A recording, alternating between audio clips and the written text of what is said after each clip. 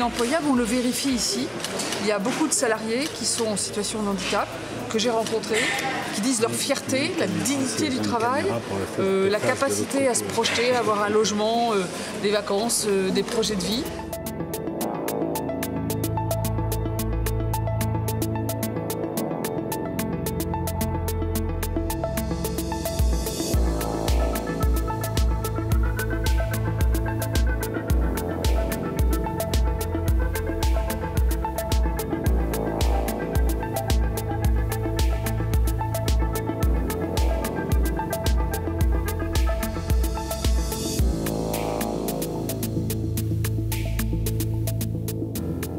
En agissant sur les cheveux, agir sur la personne.